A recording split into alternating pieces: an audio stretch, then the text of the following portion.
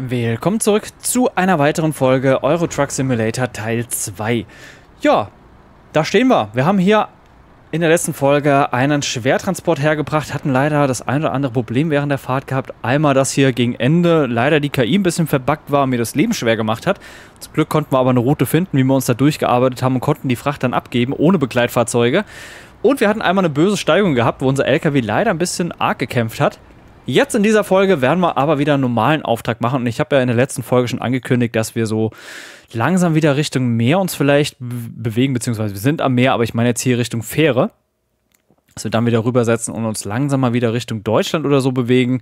Müssen wir mal gucken. Und ähm, ja, ich gucke jetzt einfach mal durch, was wir hier noch für Aufträge haben. Dafür muss ich aber gerade mal hier Aberdeen anklicken, wo wir uns gerade befinden. Dann kriege ich auch nur die Aufträge angezeigt, mit denen man hier starten kann. So, wir könnten einmal von hier nach äh, Karl Isel, Karl, Karl Eisel, Karl, irgendwas. Habe ich noch nie gehört. Was weiß ich.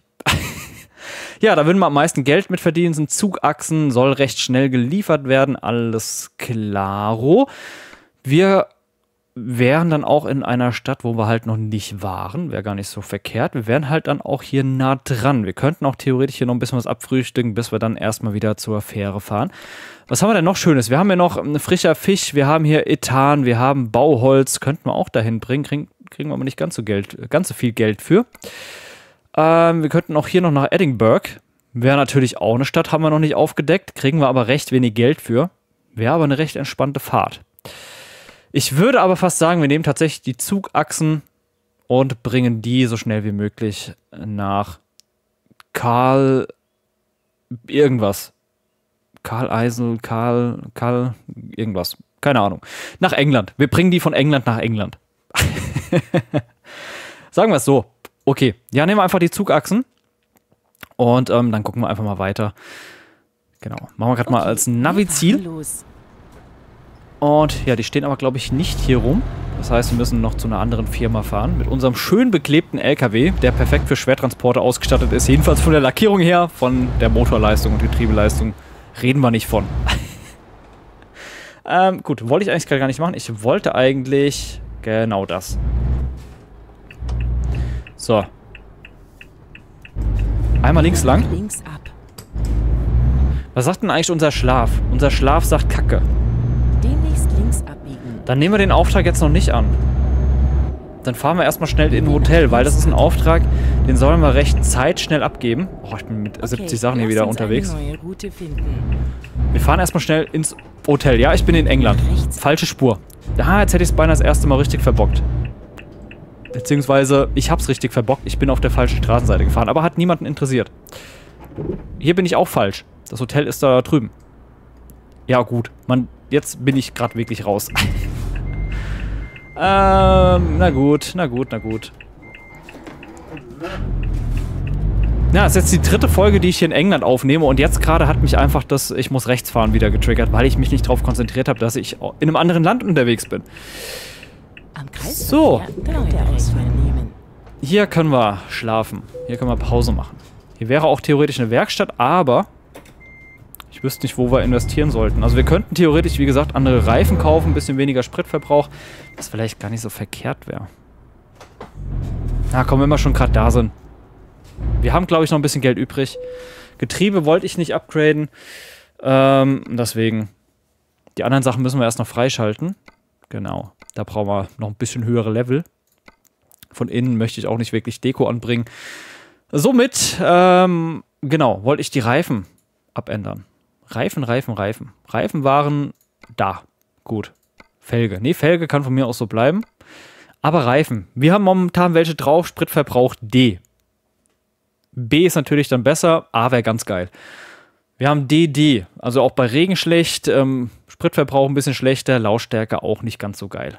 Wir haben 54.000 übrigens zur Verfügung, das heißt, wir können ein bisschen rausbrassen. Die Runner sehen wirklich gut aus. Wir haben da ein B bei Spritverbrauch, Regen haben wir eh nicht ganz so oft und 72 Dezibel bei der Fahrt. Somit können wir es einfach so lassen. Nehmen wir die einfach, Felge lassen wir so.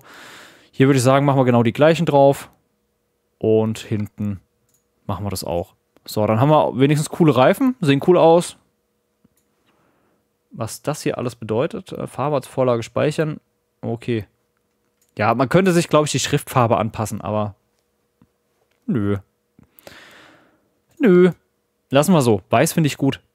Felgen lassen wir auch so. Da gibt es jetzt auch nicht, glaube ich, ganz so große Unterschiede. Ich meine, wir können ja gerade nochmal nachschauen, aber ich glaube, da gibt es nicht ganz so fette Unterschiede. Vielleicht Chrom oder so. Standard, Standard Gloss.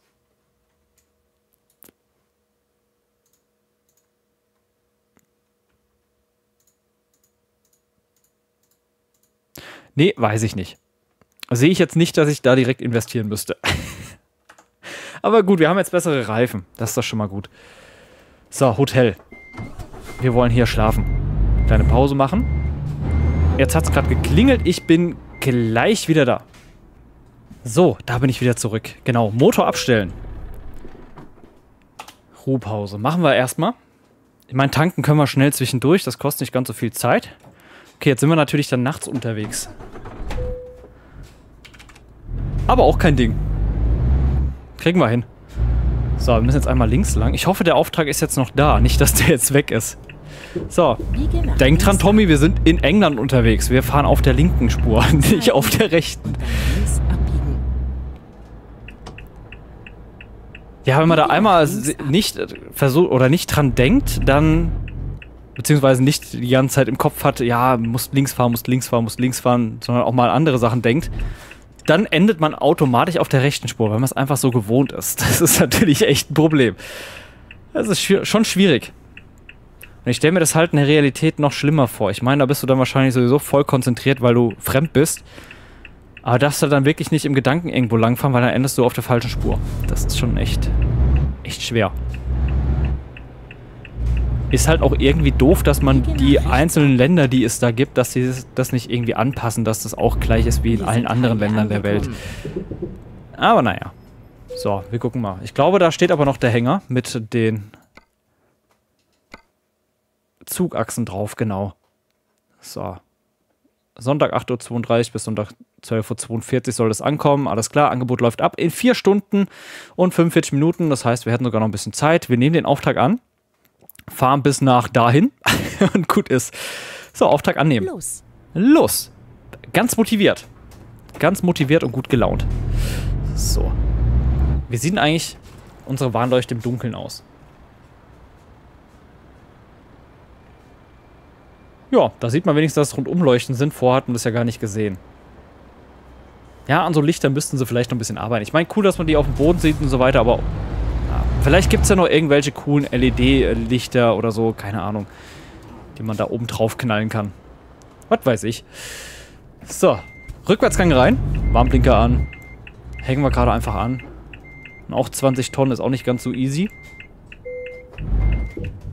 So, wir sind dran. Perfekt. Haben wir eigentlich auch am Auflieger wieder irgendeine Warnleuchte dran oder so? Anscheinend nicht. Oder vielleicht auch doch. Ups, Gang müsste natürlich drin sein. So. Ja, aber sieht fett aus mit den Rädern. Auf jeden Fall. Mit der weißen Schrift. Sieht schon echt sportlich aus, die Kiste mittlerweile. Ich weiß nicht, wollen wir Warnleuchte anlassen? Ja, nein, ich bin mir nicht sicher. Ich würde es gerne eigentlich machen, weil wir haben doch eine schwere Fracht. Aber andererseits, wir sind eigentlich kein fetter LKW. Komm, Warnleuchte aus. Biege nach rechts. Ähm, ich bin wieder auf der rechten Spur unterwegs. Ich jetzt nach wirklich drei Folgen äh, ist die Konzentration weg. So, ich versuche mich jetzt mal wieder auf die richtige Fahrbahnseite zu konzentrieren.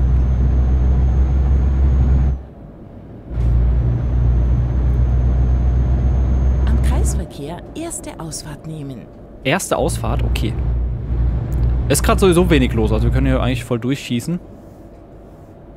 Nimm diese Ausfahrt. Nee, ich nehme diese Ausfahrt. Ich bin froh, wenn wir wieder in Deutschland unterwegs sind und nicht wieder rechts fahren darf. das macht mir das Leben einfacher. Biege nach links ab. So, wenn wir gerade wieder an der Ampel stehen, kann ich mir gerade mal nebenbei was notieren. Dass ich hier mit den ganzen Folgen noch durchblicke. So.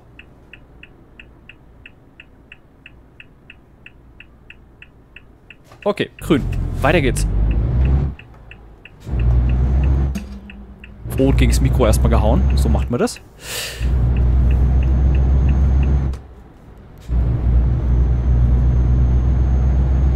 Für den ETS gibt es ja auch so viele coole DLCs.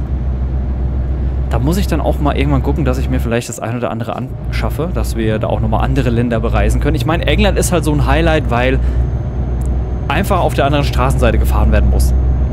Man muss es einfach so sagen, es ist einfach ein Highlight.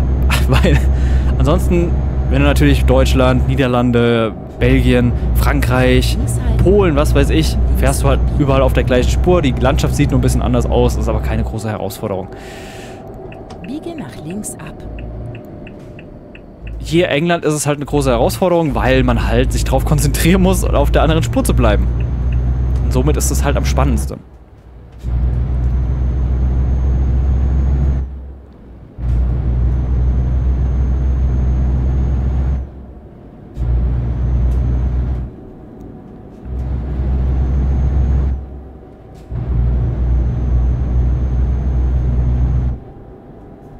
So, wir haben hier eine Tankstelle gerade. Ich würde da gerne mal kurz stoppen, den Tank wieder voll machen.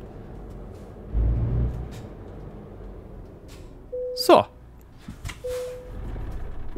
2,11 Euro pro Liter. Wir haben nicht mal alle Latten am Zaun. Ganz ehrlich. Ganz ehrlich. Ich meine, wir waren ja mal bei Zeiten, hat der Liter Diesel, glaube ich, 2,40 Euro bei uns gekostet.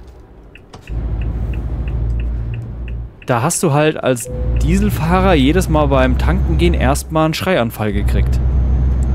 Ich meine, ich krieg immer noch einen Schreianfall, weil ich finde, 1,60, 1,70 ist immer noch ein bisschen zu teuer für Diesel. Wenn man bedenkt, wir hatten, es gab Zeiten, da hat er knapp einen Euro gekostet.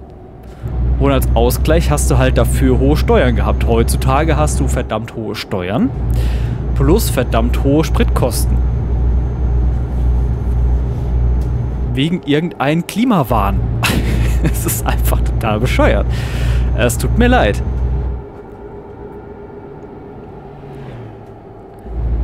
Mir fällt halt einfach leider nichts äh, anderes dazu ein. Außer zu sagen, es ist komplett bescheuert. Ich finde es ja sowieso so lustig. Man findet, ja, Leute in Gletschern eingefroren, ja, das heißt, da ist schon mal früher ein Weg gewesen, da sind früher Leute lang gelaufen, da gab es früher kein Gletscher, kein Eis und sonst was. Man weiß Bescheid, dass, äh, dass wir am Ende einer Eiszeit sind, dass es immer so schwankt, ja, es gibt mal eine Eiszeit. Jetzt sind wir momentan an, am Ende einer Eiszeit, ja, wenn die Polkappen abgeschmolzen sind, sind wir quasi am Ende, blöd gesagt. Und ähm, dann geht es irgendwann wieder der Zyklus weiter, dass die Polkappen irgendwann wieder frieren werden und die Erde wieder sich in der Eiszeit befindet oder es wieder mehr Richtung Eiszeit geht und so weiter.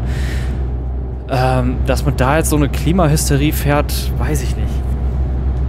Besonders, ich glaube halt nicht, dass der Mensch da so großen Einfluss drauf hat. Es ist ja auch bekannt, dass die Sonne momentan aktiver ist und so weiter und so fort.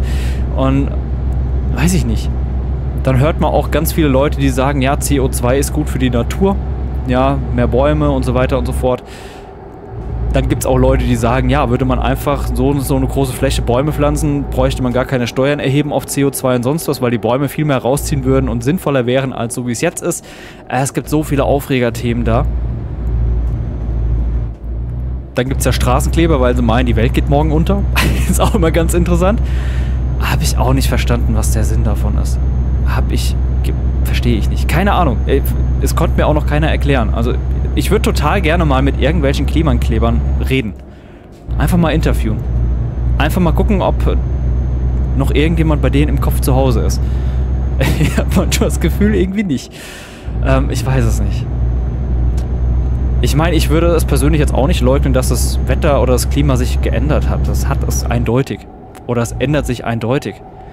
Aber man weiß ja halt auch nicht genau, ob da irgendwelche Sachen tatsächlich in den Himmel injiziert werden. Ja, es, früher war das ja auch immer so Verschwörungstheorie. Ich glaube, heutzutage wird es auch noch als Verschwörungstheorie angesehen.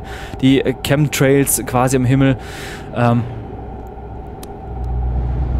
aber wenn man dann halt mitkriegt in Dubai, die machen das extra, die machen das ganz bewusst, ganz locker, ja, wenn wir es regnen lassen wollen, tun wir halt ein bisschen was in den Himmel spritzen, ja, dann fängt es schon an zu regnen.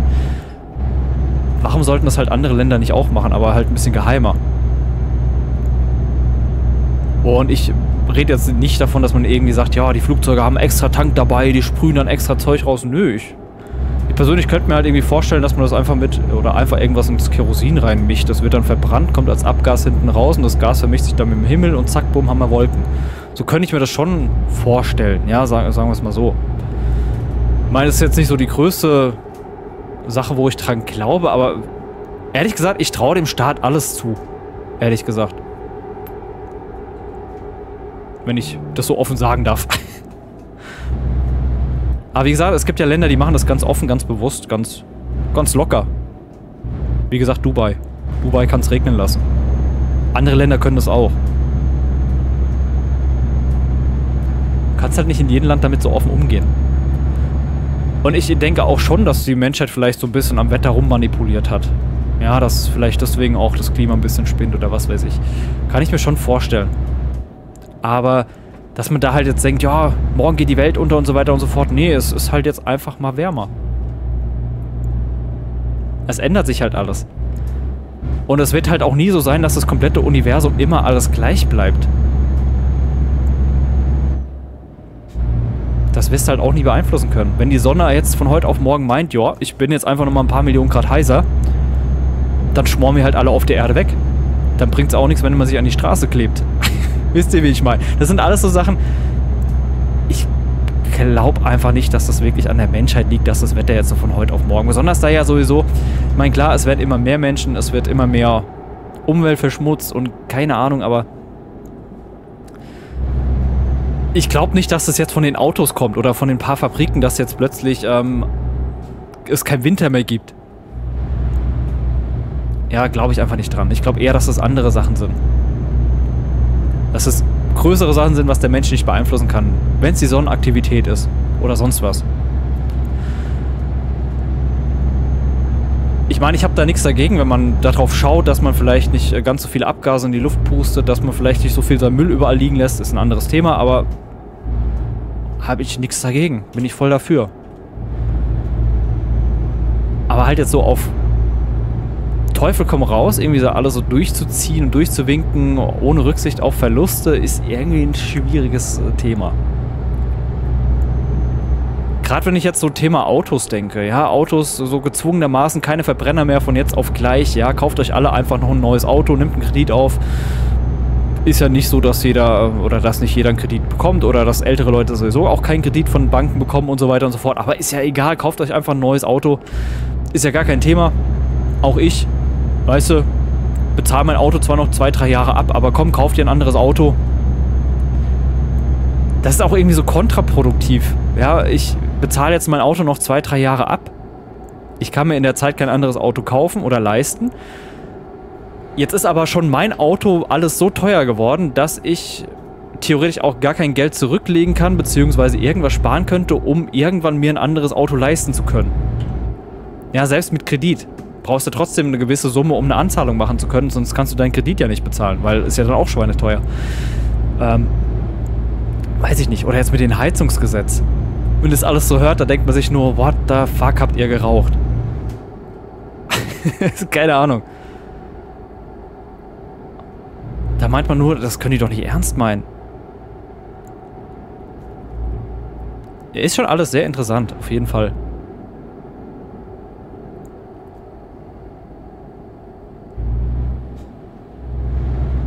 Demnächst links abbiegen.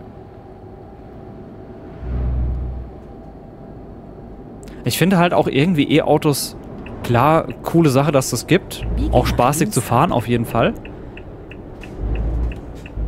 Aber ich finde es halt so erzwungen irgendwie auch nicht die Lösung. Besonders wenn man dann so äh, Dokus sieht oder wenn man da so ein bisschen an Nachforschung anstellt, wo das ganze Material herkommt, wie das abgebaut wird und so weiter und so fort.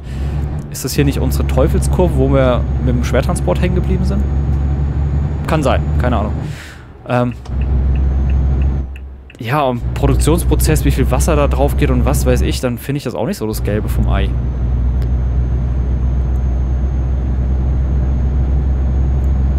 Ich hätte es ja persönlich besser gefunden, man hätte einfach ähm, eine gesunde Mischung gemacht, ja. E-Autos entwickelt, Verbrenner entwickelt und die E-Autos halt immer attraktiver gemacht für die Leute und nicht einfach gesagt, ja, Verbrenner jetzt verboten, fertig aus. Das ist einfach doof. Dann zwingst du die Leute zu was, was sie sich eigentlich nicht leisten können. Und ähm, dadurch macht man die Leute auch nicht glücklicher. Das tut wieder alle unglücklicher machen, dann gibt es wieder mehr Stress, mehr Probleme, mehr sonst was. Ähm, jeder hat schlechte Laune und keine Ahnung. Kontraproduktiv. Wie gesagt, einfach E-Autos und Verbrenner parallel entwickelt, beides auf den Markt geworfen, die E-Autos attraktiver gemacht als die Verbrenner und zack, bumm, alle kaufen sich Elektroautos ohne Zwang. Einfach weil sie dann vielleicht cooler sind. ist halt immer, finde ich, die bessere Variante, als irgendwas zu verbieten. Wir leben ja sowieso momentan in so einer Verbotsgesellschaft, dass irgendwie alles verboten wird, alles, was Spaß macht, wird verboten, alles, was irgendwie einen glücklich machen würde, wäre, wäre wird verboten. Ähm, das ist kein, kein guter Trend.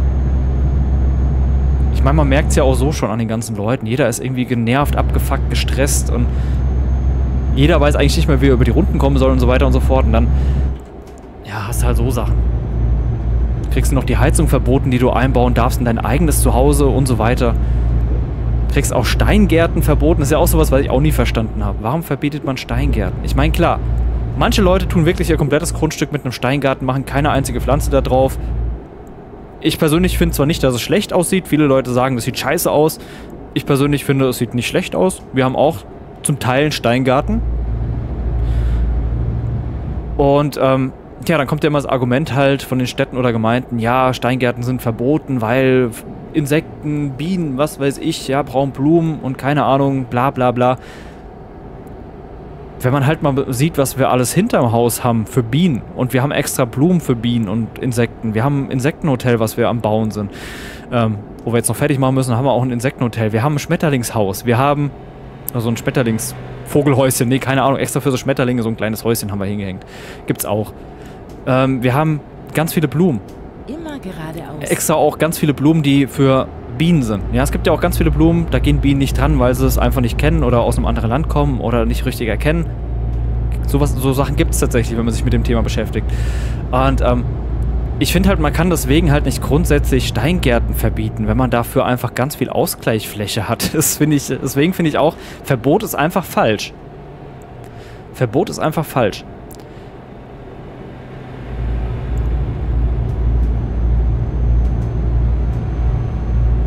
Ja, wir haben ja auch ganz, ganz viele Tomatenpflanzen zum Beispiel. Wir haben Salatpflanzen hatten wir da. Wir haben ja auch Peperoni, Paprika, Spitzpaprika. Äh, die Dinger blühen auch alle, müssen auch bestäubt werden von Bienen und so weiter und so fort. Wir haben eine essbare Blütenmischung haben wir in einem Topf drin. Die blüht jetzt gerade ganz wild. Ja, wir haben ganz, ganz, ganz viele andere Blumen vorm Haus noch. Nicht im Steingartenbereich, aber da haben wir auch Blumen drin. Wir haben so einzelne Bereiche, wo wir ganz viele Blumen haben. Ähm, deswegen das Argument, wenn dann da irgendjemand kommen würde und würde sagen, ja, Steingarten weg, der ist scheiße, der ist hässlich und ist gegen Insekten und so weiter und so fort. Die Leute haben keine Ahnung, was eigentlich in so einem Steingarten alles lebt. Hebt man da so einen Stein an, was da an Insekten drunter krabbeln und die sich da wohlfühlen.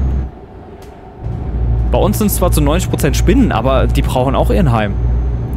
Eine andere Prozent sind Ameisen. Und noch andere Käfer gibt es da natürlich auch. Aber das ist denen ihr Wohlfühlgebiet anscheinend, sonst würden die da nicht so viel drin wohnen. Das heißt, es ist nicht schlecht für alle. Und wenn man da noch ein paar Blümchen und so weiter reinsetzt, ist doch auch nicht schlecht. Na, hier staut sich ein bisschen. Edge Badge. Kommst nicht rein.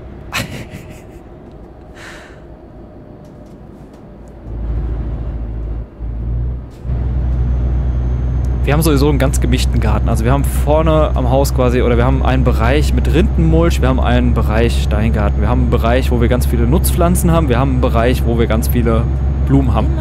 Komplett gemischt. Komplett gemischt. Alles vorhanden, alles vertreten.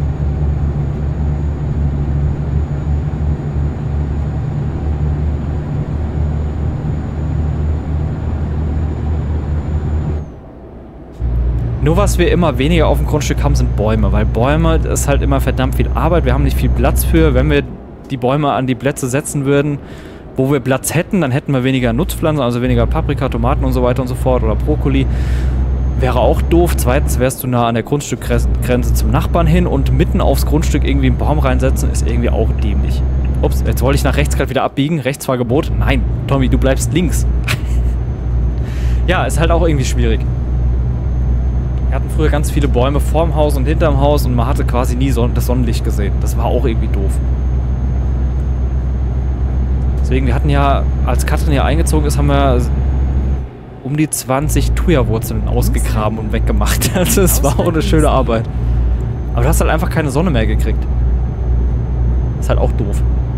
Und jetzt, wo die Bäume weg sind, haben wir da halt lauter Nutzpflanzen hin.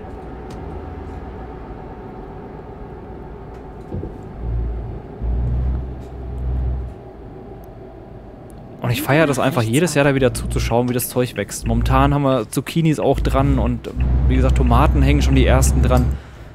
Ähm, jetzt wollte ich gerade wieder auf die rechte Spur rüber, aber da kommt zum Glück ein Bus entgegen. Hallo? Alles gut, ich bin nicht von hier. ich sollte doch mein Warnlicht anmachen. Und irgendwie noch ein Schild, ähm, Achtung Deutscher vorne rein, nur halt auf Englisch geschrieben. Take care, German. Nee, keine Ahnung.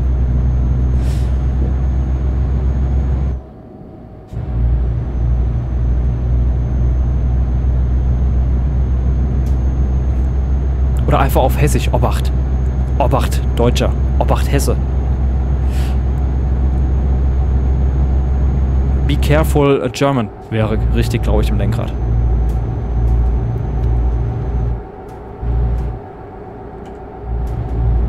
So, ich mache mal ein Tempomat an. Wir haben noch 123 Kilometer vor uns. Doch eine ganz schön weite Strecke. Ich hätte nicht gedacht, dass wir jetzt so lange da unterwegs sind.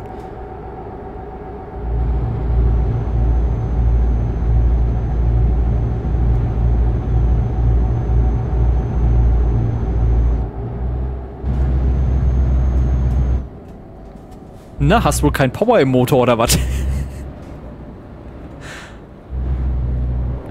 ja, so ein bisschen merkt man, dass wir vor einer Folge oder zwei unseren LKW ein bisschen getuned haben. Ein bisschen... Ein paar mehr PS reingeballert haben, neuen Motor. Merkt man doch ganz leicht. Gerade jetzt bei so normalen Frachten, der zieht schon ordentlich. Mich würde mal interessieren, ob der Sound ein anderer wird vom LKW, wenn ich die anderen Auspuffrohre anbringe.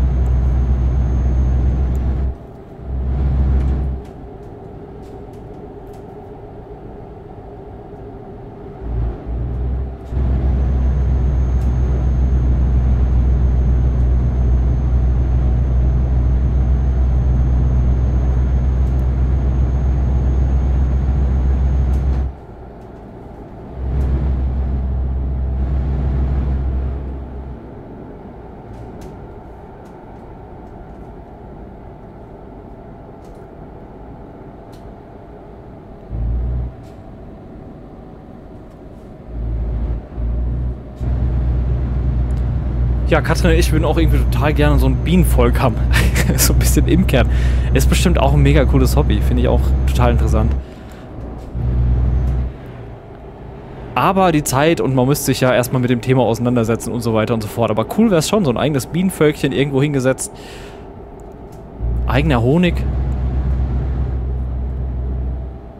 Man könnte es ja auch eigentlich voll gut verbinden, weil Katrins Vater hat ja eine Landwirtschaft und warum nicht?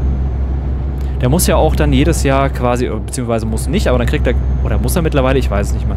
Entweder muss er mittlerweile jedes Jahr so eine Blumenwiese ansehen oder er kann es machen und kriegt dann irgendeinen Bonus. Ich weiß nicht mehr, wie das genau war. Ähm, wenn wir da dann irgendwie so ein Bienenvölkchen noch hinsetzen, die haben da die ganz vielen Blümchen dann. Ist auch nicht schlecht. Dann hast du vom eigenen Acker mit den eigenen Bienen eigenen Honig. ist doch cool.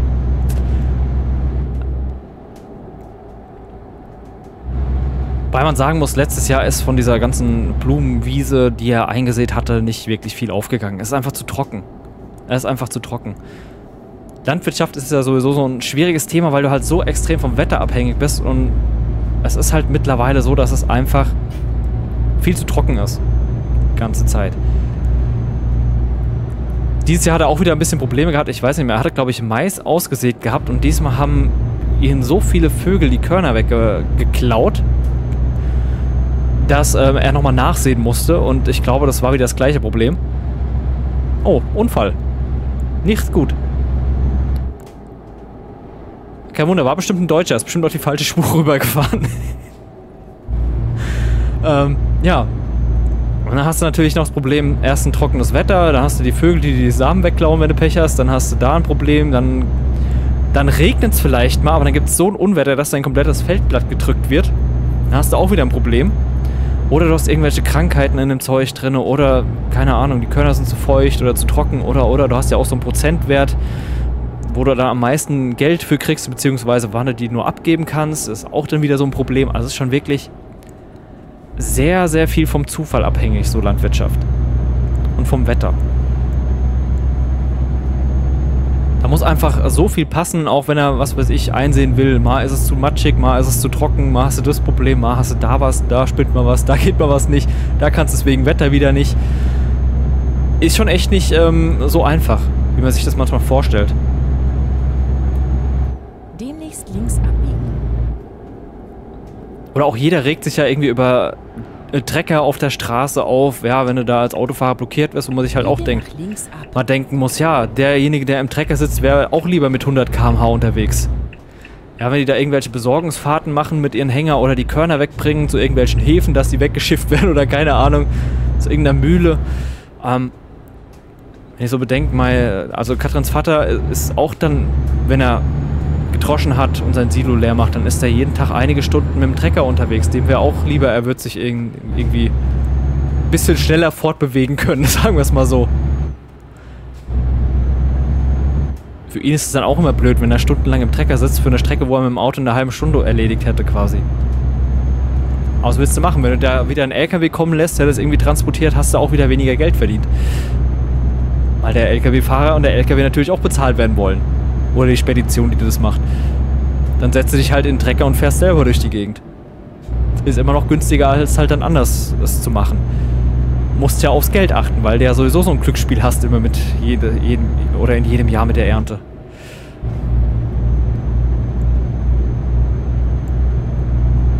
Aber ich finde es ja immer ganz nett, wenn du so einen Trecker vor dir hast. Wir haben ja auch so eine Strecke, wenn wir zum Beispiel zu Katrin hinfahren, Du kannst einfach auf dieser kompletten Strecke, man fährt eine halbe Stunde mit dem Auto, du kannst auf dieser Strecke nur an zwei Stellen überholen.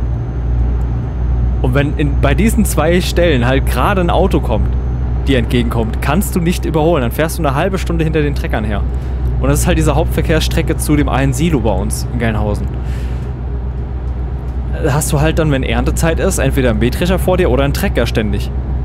Und du kannst halt nicht überholen. Dann fährst du halt die Strecke, die du eine halbe Stunde mit einem Auto fährst, fährst du halt dann mal in eine Stunde ungefähr. Immer geradeaus. Ist ärgerlich, aber kannst nichts machen. Derjenige, der im Trecker sitzt, dem wäre es auch lieber, er könnte seine Zeit anders verschwenden. Es wäre auch. Deswegen, man muss sich halt auch immer in die andere Person reinversetzen.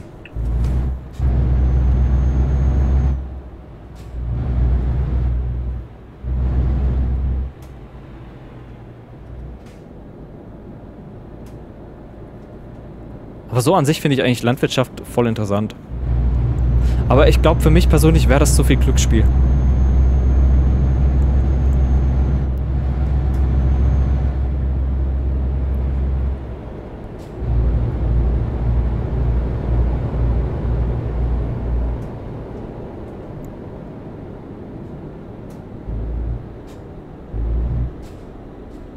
Und Tiere kannst du in Deutschland eigentlich sowieso nicht mehr halten ist einfach, ähm, du verdienst einfach nichts mehr mit. Früher hatten sie ja Tiere gehabt, Schweine und so weiter gehalten und ähm, aber das hat sich halt dann irgendwann nicht mehr gelohnt. Weil wenn du in Deutschland mit äh, Tieren noch Geld verdienen möchtest, brauchst du wirklich so eine Massentierhaltung, wo du die Viecher richtig schön quälen kannst. Anders kannst du das nicht wirtschaftlich betreiben. Geht einfach nicht. Ich meine, mittlerweile, es geht ja langsam so ein bisschen Richtung, ja, kleinere Bauern tun da selber ihr Zeug produzieren und die Supermärkte kaufen auch das Zeug ab und verkaufen es dann wieder an die Kunden. Ähm, dass es aus der Region irgendwie kommt, dann weiß man auch, okay, wenn es aus der Region kommt, ist es keine Massentierhaltung, kostet zwar ein bisschen mehr, aber dann ist es was ordentliches. Und ich finde, das geht eigentlich eine ganz gute Richtung. Aber stellenweise, aber halt im Thema oder Richtung Billigfleisch geht es halt mehr so, ja, das Fleisch kommt alles aus dem Ausland, aus irgendwelchen Betrieben, die nicht überwacht sind und was weiß ich. Mit richtig schön Massentierhaltung und so weiter und so fort, wo die Viecher richtig schön gequält werden. Das ist halt äh, die falsche Richtung. Aber anders kann man sich halt, oder wie gesagt, in Deutschland kannst du sowas halt nicht richtig machen, um Gewinn zu erwirtschaften. Da musst du halt wirklich dann ganz, ganz viele Viecher auf engstem Raum halten, dass du da überhaupt noch Gewinn machen kannst. Das bringt's halt auch nicht. Wenn du das nicht mit deinem Gewissen vereinbaren kannst, dann gibst du das halt auf. Und das hatten halt, äh, oder das hat halt Katrins Familie so gemacht. Tierhaltung aufgegeben komplett. Stall ist leer. Seit vielen, vielen Jahren wird nicht mehr benutzt. Riesengebäude. Hast du halt jetzt.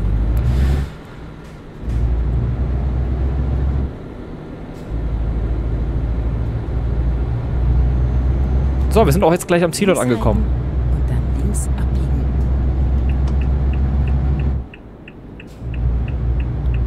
Biege nach links ab.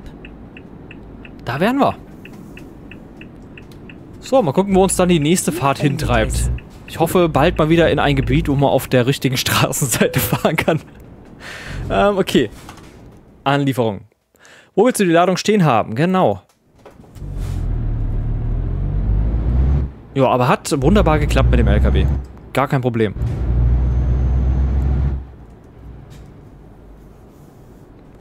Haben aber auch manchmal enge Einfahrten. Ich sehe ab und zu mal so einen TikToker bei, bei, bei TikTok. Ergibt Sinn. der tut auch mit so einer Bodycam Film und wo der manchmal rumkurven muss, ist auch in England, glaube ich, unterwegs oder so. Halleluja. Da würde ich nicht mit dem Auto reinfahren. Da quetscht der sich mit dem LKW durch. Hat natürlich auch tausende Anweiser um sich rum. Und dann da auch wieder rückwärts raus manövrieren, das würde ich mit dem Auto auch nicht mal machen. Das Respekt. Nur das eine Video fand ich, okay, ich habe gerade nicht wirklich gut gezielt. ich habe nicht wirklich gut gezielt auf ein neues. Ähm, nur bei dem einen Video fand ich auch so merkwürdig, da hat er sich auch in die engste Baustelle reinquetschen müssen. Zum Teile anliefern. Obwohl die eigentlich einen Stapler hatten und hätten auch einfach mit dem Stapler hin und her fahren können. Nee, die haben den LKW da reingelotst und dann musste der da auch wieder rückwärts raus, weil konntest da nicht wenden. Ich mir auch gedacht, hä? Hättet ihr doch einfach den LKW draußen gelassen, der wäre doch zehnmal mit dem Stapler schneller gewesen, als den LKW da mit zehn Leuten rauszumanövrieren. Aber gut. Anscheinend wollten sie nicht oder durften nicht, keine Ahnung. So, wir haben es geschafft, 162,9 Liter Diesel wieder verbraten. Jawohl.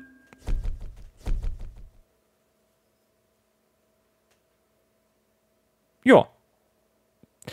Sind immer noch Level 13. Es geht aber langsam Richtung Level 14. Okay, haben wir das geschafft. Ich würde sagen, dann war es das wieder für die Folge. Wir können ja gerade nochmal hier kurz reinschauen, welche Aufträge es aktuell geben würde, aber ich werde jetzt wahrscheinlich erstmal wieder eine Aufnahmepause machen. Oh, nach London. London wäre natürlich jetzt auch nochmal, wenn wir schon hier eigentlich sind, müssten wir nach London fahren. Andererseits, wir könnten uns wieder nach Amsterdam rübersetzen und vielleicht nach Belgien mal rein. Von Belgien dann vielleicht hier rüber wieder. Das würde ich, glaube ich, ganz gut finden. Ich glaube, nächstes Ziel ist wieder Amsterdam dann. Wir müssen mal gucken, wie es dann bei der nächsten Folge ist. Wie gesagt, ich mache jetzt erstmal wieder Spielpause und ähm, ich weiß nicht, wie es dann mit ETS weitergeht. Kann sein, dass wir nochmal ein paar Folgen dann die nächste Zeit haben oder ob ich dann erstmal wieder eine ETS-Pause einlege, ob ich dann ein anderes Spiel anfange oder nicht. Müssen wir einfach mal gucken und abwarten. Ich mache mir da noch Gedanken. Ja, wenn ihr mehr sehen wollt, auf jeden Fall einen Daumen da lassen. Gerne auch, ähm, ja, den Discord-Server beitreten. Link wie immer in der Videobeschreibung. Gerne auch den Kanal mit einer Mitgliedschaft unterstützen. Und falls du den Kanal noch nicht abonniert hast, gerne auch ein Abo da lassen. Macht's gut, bis zur nächsten Folge. Euer Tommy. Tschüss.